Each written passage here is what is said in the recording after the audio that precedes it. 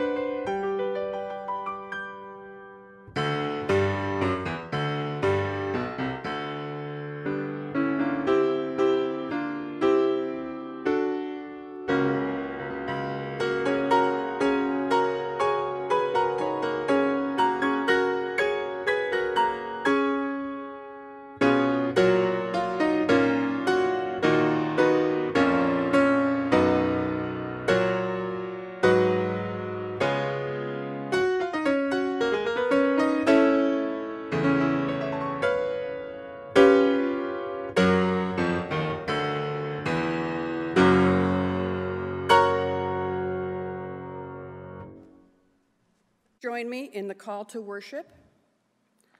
The Lord of life is risen. Alleluia to Jesus the Son. We sing songs of praise and victory. Alleluia to God the Father. We want all the world to hear the good news. Alleluia to the Holy Spirit. Let us worship our ever risen Lord.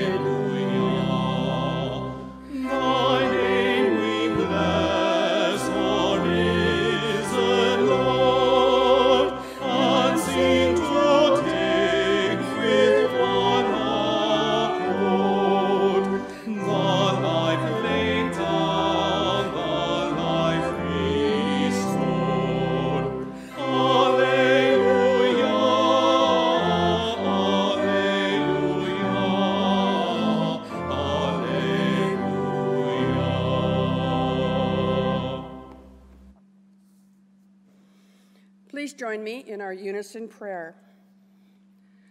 Loving God, who came to us in Jesus Christ so that we would seek you, know you as truth, and then trust in you. We are here to give you praise. Everything good we have comes from you. We acknowledge that we are distracted by the issues of, these, of life these days. They cause us to live in fear, not faith. They make us exhausted each day instead of excited in you. Forgive us and help us to put our faith and trust in you. Bless us each day as we strive to bless others. You are the one true and great God. All glory be to you this day and every day. Amen.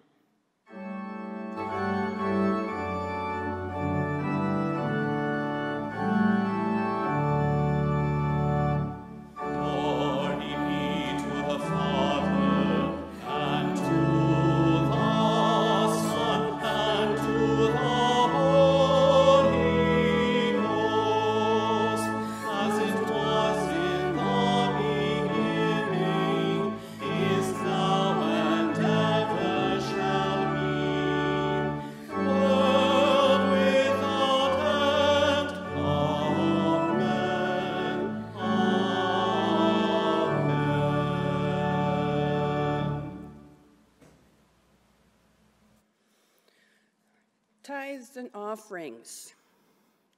This is the time we need to continue to support our church. Our giving to Christ and his church is a sign that our faith continues even as we cannot gather together physically. Northminster is still reaching out to those in need and loving our family of faith. Please remember to give so that we can give to others. Your support is needed even more in these difficult days. May God bless you as you support this church in prayer and praise.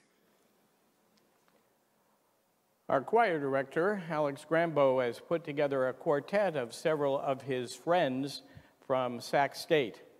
They are here as the Glory and Honor Quartet to share with us, Lord, I want to be a Christian.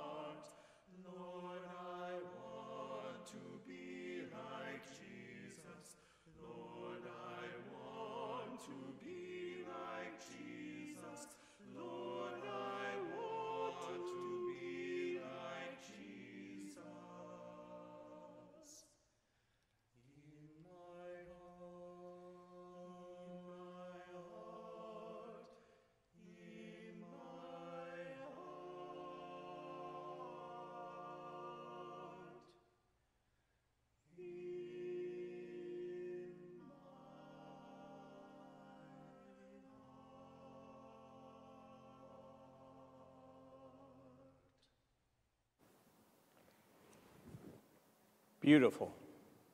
We all, I hope, want more of Jesus in our hearts, to be like him and to know him and to put our trust in him.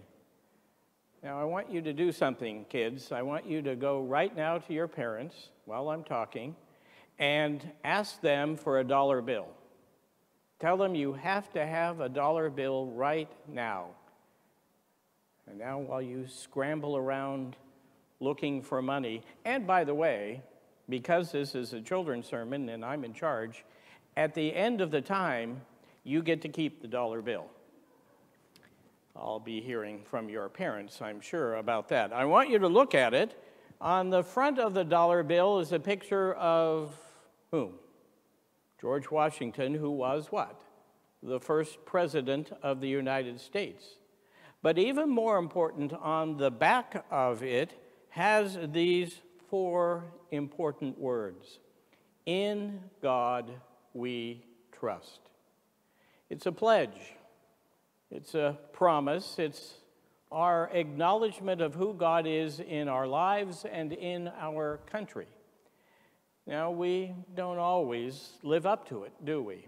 As a people, as kids, as adults, as a nation. But we say, in God we trust. Do you trust in God?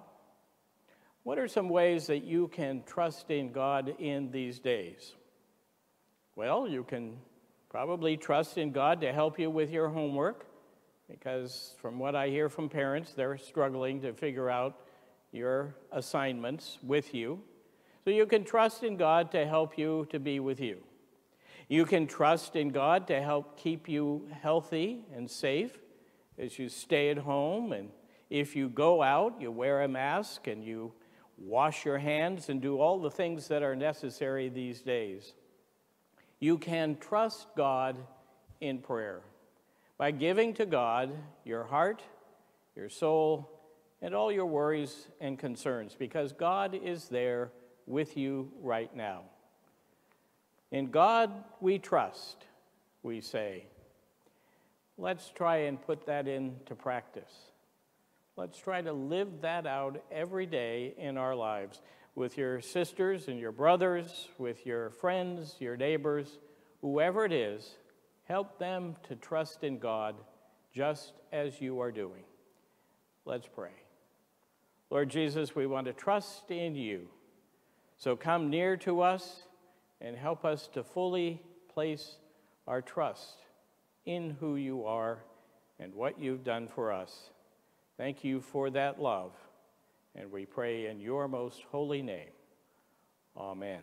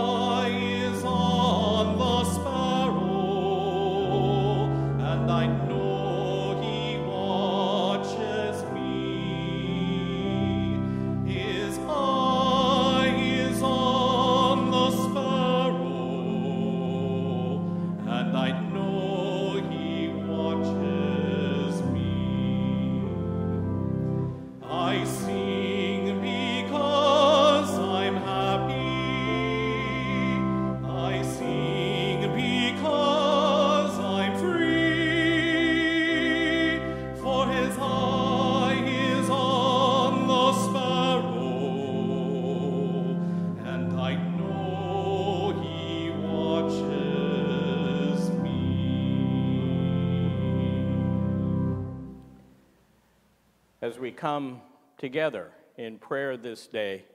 May God come to each of us and watch over us like he does that sparrow. This week, we celebrate with Ben Amorine on Monday, who is having his seventh birthday, as well as Victoria Ruff, who is having a birthday on Saturday. To both of you and to others out there, a joyous and happy birthday. Let us come together in prayer.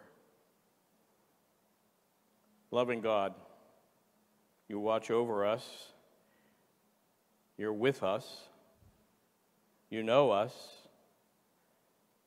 and you care for every part of us. Lord, we want to trust you in these days, but we're struggling. We're tired of all of this. We want it to be over. We want the tough times to disappear and the times of joy and celebration to return.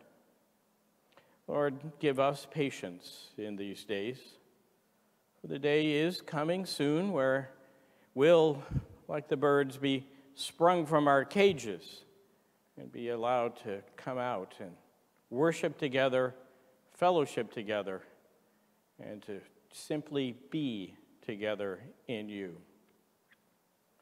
Lord, there are people in our families, in our congregations, among our friends who are struggling these days, those who are confined to nursing and care centers.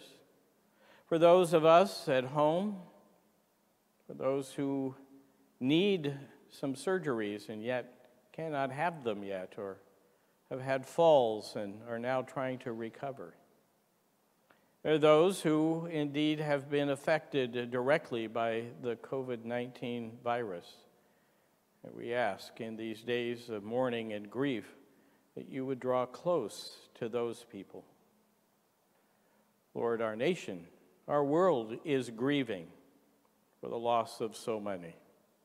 And we're trusting in all sorts of things these days.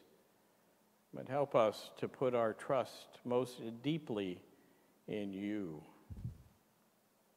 O oh, holy God, we lay before you everything, everything about ourselves, everything that is worrying us, causing us to be anxious, causing us to think of ways that we can solve all the problems instead of putting them before you.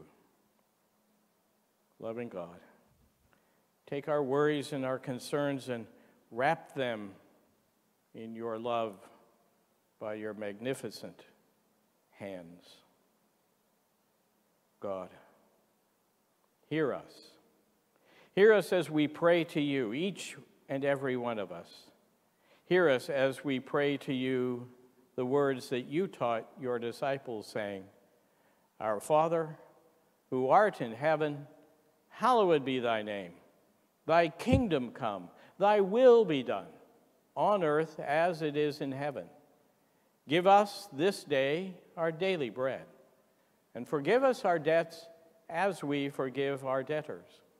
And lead us not into temptation, but deliver us from evil. For thine is the kingdom, and the power, and the glory forever. Amen.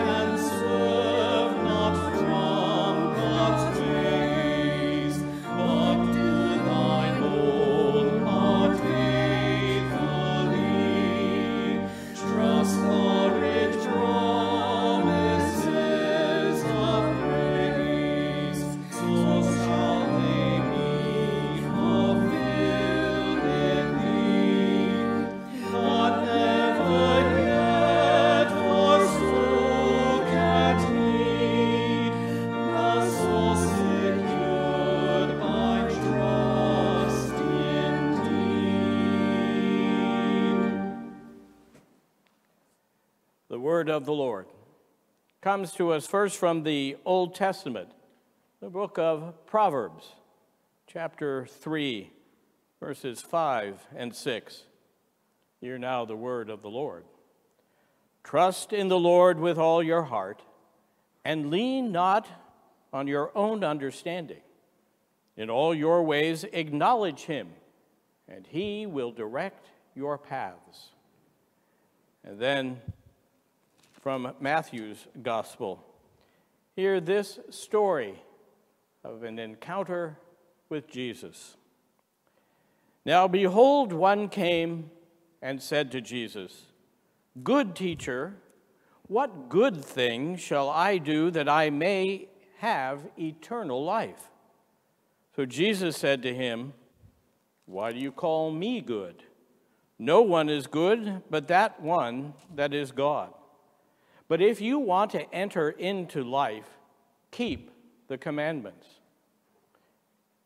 The young man said to him, Which ones?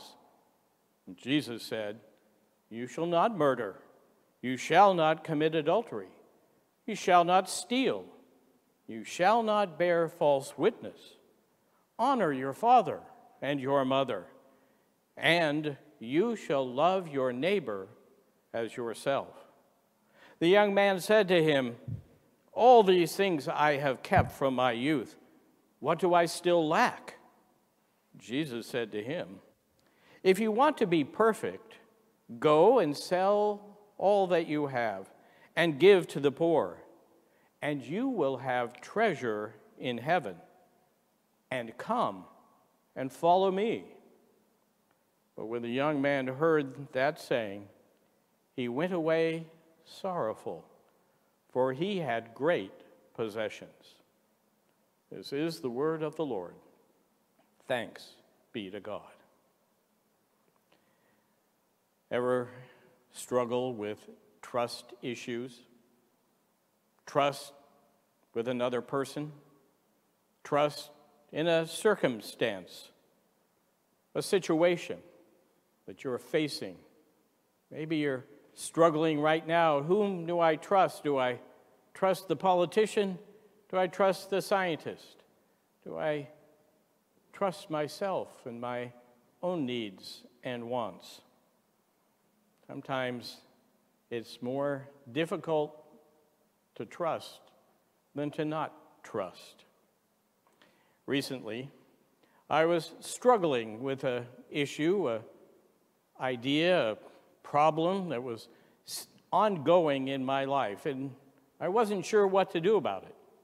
And I began to work it through and think it through. What could I do? What were the issues?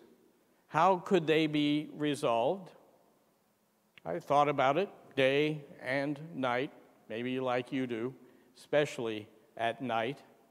And as I went through all the various angles and possibilities, I was still struggling to come up with an answer. I looked at it from the view of practicality. I looked at it from the view of a psychologist. At university, I began as a psychology major. And while I graduated with a degree in history, I was only two credits short of having a degree in psychology, and for 36 plus years, I have been counseling other people. But that wasn't helping either. And then I did the thing that I should have done, that any good pastor would do. I took it to God in prayer. And what God said to me was really a one word answer Trust. Trust. What could I say? I hadn't been listening. What are you lacking in trust today? And how do you handle the problems that you have before you? We hear this story of the rich young ruler, as he is called many times. We only know from Luke's version that he was a, a, ruler. We know that he was a young man, and we know he was rich. And we can surmise from that that most of his wealth came from his family and not something he had done yet because he was young. And he came to Jesus looking for an answer. He said, Good teacher, rabbi, is the word he used. And Jesus' response, of course, is, Why are you calling me good? And he tells of his own identity and his drawing together of himself with God in this, that if God is good and Jesus is good, that God and Jesus are good. But the young man wanted to know, What do I have to do to gain eternal life? Jesus gives him the standard answer fulfill all the commandments. Live out your life fulfilling those Ten Commandments that Moses brought down to the people of Israel. And he said, Well, which ones do I have to keep? And so Jesus gives him a list numbers 6, 7, 8, and 9. And then he also quotes Leviticus about loving your neighbor as yourself. And the young man hears what Jesus is saying and then says to Jesus, Well, well, I've kept all those since my youth. Now, what's interesting here is the word in Greek for kept really is the word cherished. I have cherished these Ten Commandments. I have looked at them.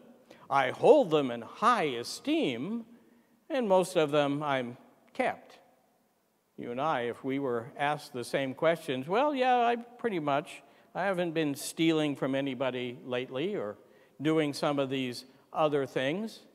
But that really wasn't what the young man was saying was he was saying i treasure these uh, i uh, cherish these. I treasure them. I think they're wonderful sayings. Jesus hears that in his voice. He says well there's one more thing you need to do. This is not a prescription for every person, but it is for that young man because his possessions had become his God. Notice the one commandment that Jesus doesn't say at this point because he already knows that that's not on the list for this young man.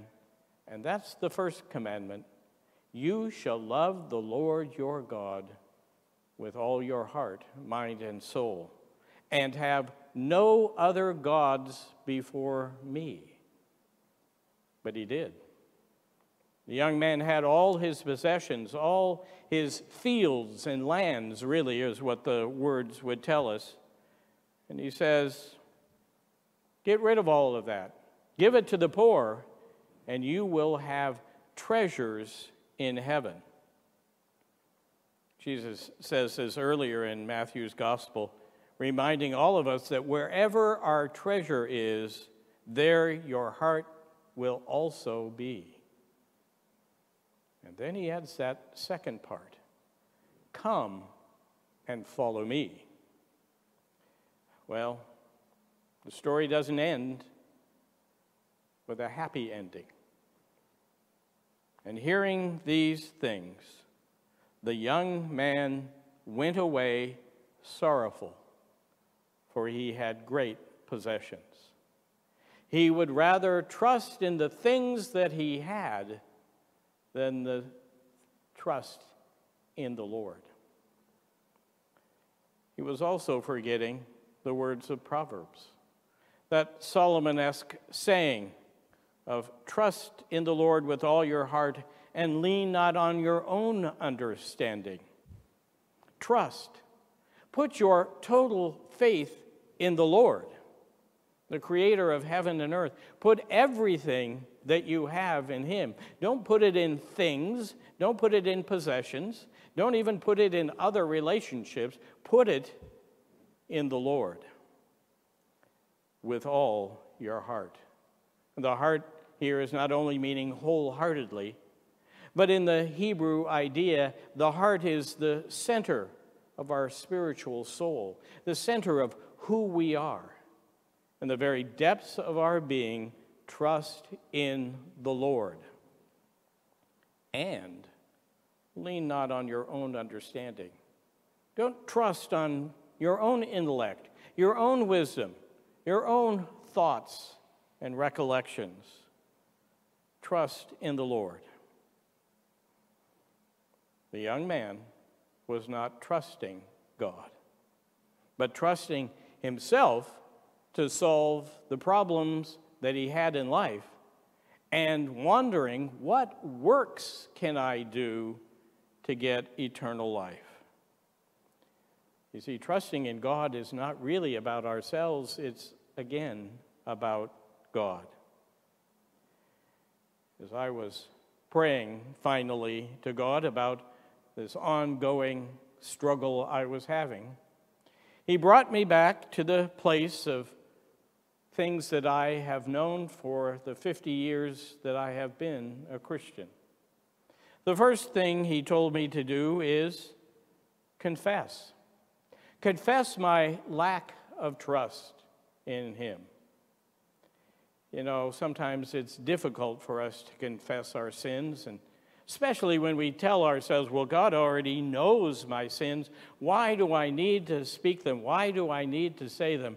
Because we say them, they become reality. The sins are nebulous and ethereal, they're out there away from us until we speak them with our lips, until we come before God and admit who we are and what we have done. Take it to the Lord in prayer. That's the first thing we need to do. Our lack of trust is a sin. And so we need to confess that to God. The second thing the Lord reminded me of is after I confess, I need to repent. I need to do more than just tell God I've done the wrong things, but I need now to change direction. You know, the word repent has the idea that I'm going one way, and now in repentance, I'm going totally the opposite way. I've been turned the wrong way, and now I've been turning and am turning the right way. I'm repenting, setting a new direction for myself. And then lastly, he says, resolve. Resolve to trust in God. Resolve in your heart to follow God in all your ways, to take the issue, the struggle, the habit, the worry, the anxiety, whatever it is, and resolve to put it in the hands of God. Don't hang on to it any longer. It's one of my problems.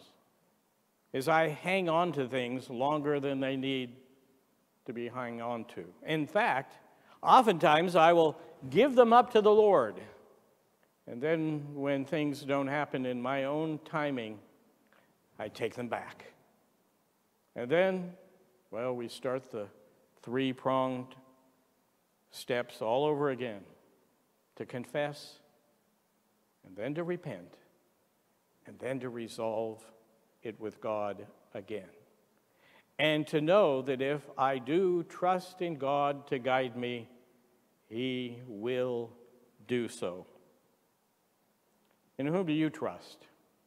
Yourself or God.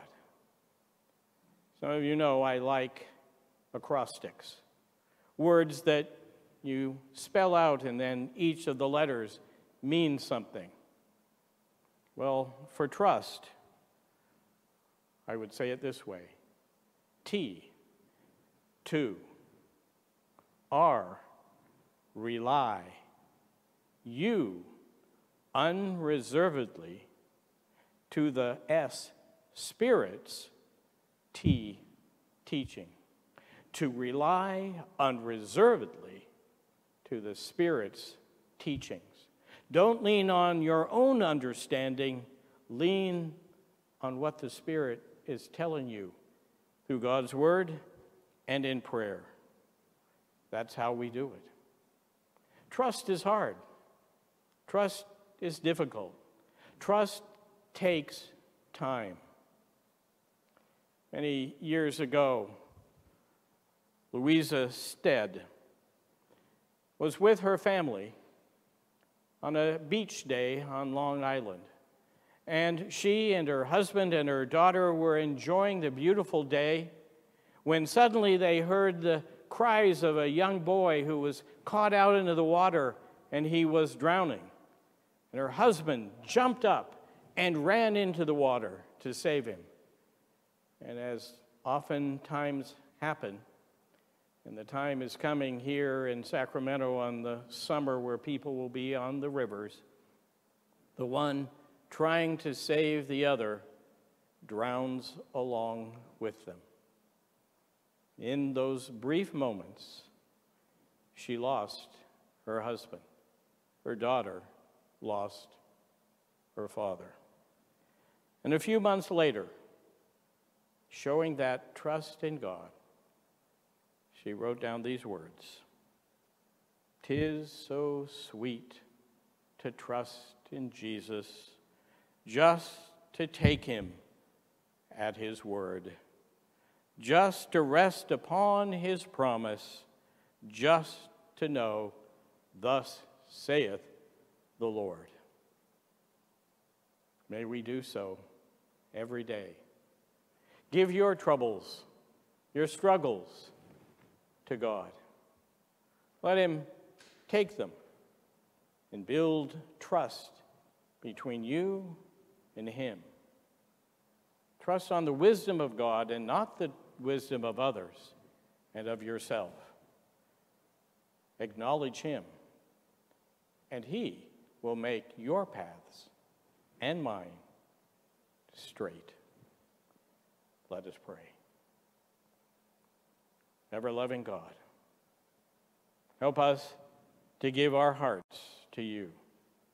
Help us to give those things that we're holding on to that we need to let you take a hold of.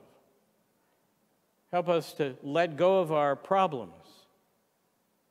Help us to, well, turn our struggles into stepping stones in faith and in trust.